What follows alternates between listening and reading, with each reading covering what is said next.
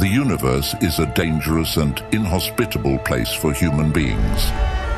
Earth is like an oasis in a titanic, endless desert, filled with dangerous, eerie, incomprehensible objects. Magnetar, an anomalous neutron star, fits these attributes perfectly.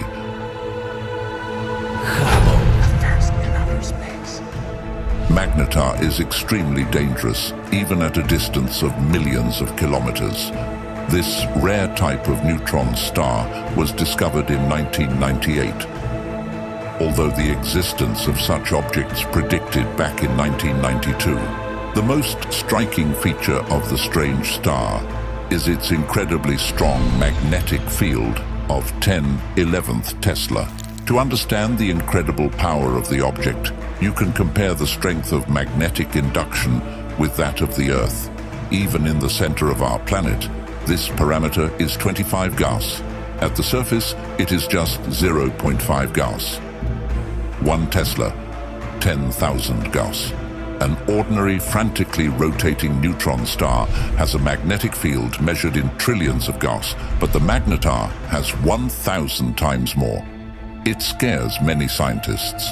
First, let's answer the most relevant questions. How old is a magnetar? The strongest magnet in the universe lives for a relatively short time, about one million years. Moreover, the magnetic field is only active for 10,000 years, stellar size. Amazingly, but the most powerful object in the universe has a minuscule size. Its diameter is similar to the settlement on Earth, about 20-30 kilometers. But the mass of the crumb is truly impressive. It can be larger than solar mass. How do they appear? Why are magnetars so heavy? The answer lies in the mystery of their birth. Magnets of incredible strength are formed during the death of extremely heavy stars, whose masses are more than 40 solar masses. At the explosion of Titan's gaseous layers go on a journey through the vastness of space, and the nucleus is compressed under incredibly high pressure, causing the particles to stick together and turn into neutrons, and the density reaches atomic dimensions. It's not clear why pulsars become magnetars at some point. What gives these mysterious objects such serious power? Astrophysics does not yet provide a definitive answer to this question.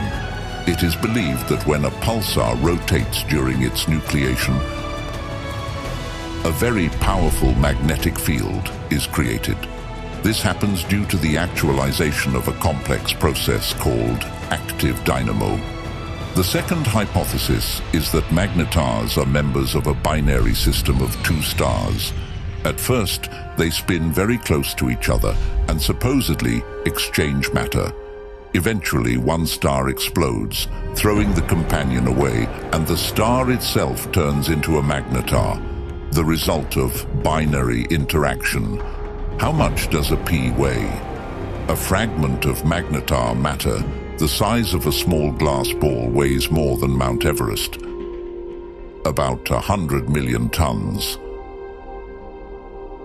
What else is fascinating about this striking object? It spins in a very fast dance that would be the envy of a professional ballerina, several turnovers per second. Magnetar looks a lot like a classic neutron star, but it emits in a gamma-ray spectrum close to X-rays.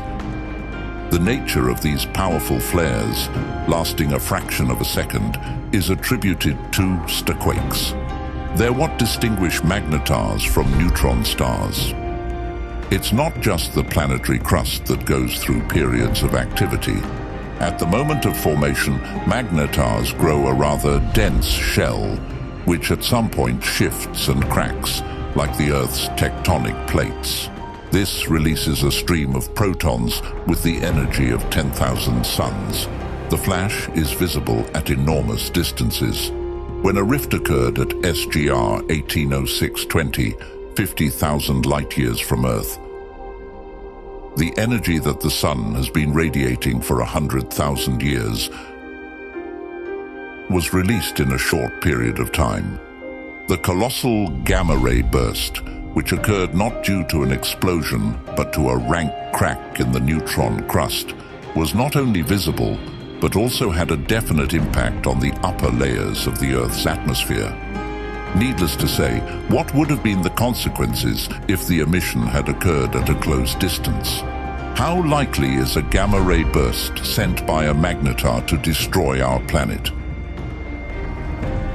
There are probably about 30 million of these dangerous objects in the Milky Way.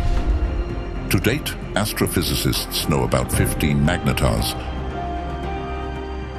The closest of them, 1E 1048.15937, in the Carina constellation, located at a distance of 9,000 light-years, as well as SGR 1900 plus 14, shining in the Aquila constellation, more than 6,100 parsecs from Earth. Gamma-ray bursts of the latter once even caused disturbances in the ionosphere of the Earth. Notably, SGR 1745-2900, a magnetar just 0.3 light-years away from the black hole that lurks at the center of our galaxy, was discovered in 2013. It is the only object found so close to the 4 billion suns mass vortex. The main question is, what is the danger of magnetars for the inhabitants of the Earth? If the object were in relative proximity to us, the question of humanity's survival would become very acute. And the danger is not that electronic media on the entire planet, including credit cards, would instantly demagnetize. Gamma-ray bursts are the most deadly rays currently known, so if a magnetar in our galaxy were to begin radiating toward Earth, it would cause significant devastation. Being too far away, a magnetar could not burn the planet. But the effect of gamma-ray penetration would be tantamount to a nuclear explosion, causing radiation sickness and mass extinction. And the strongest magnetic field would simply tear apart the molecules that make up all life. Fortunately, magnetars are relatively rare and distant objects, so Earthlings have nothing to fear.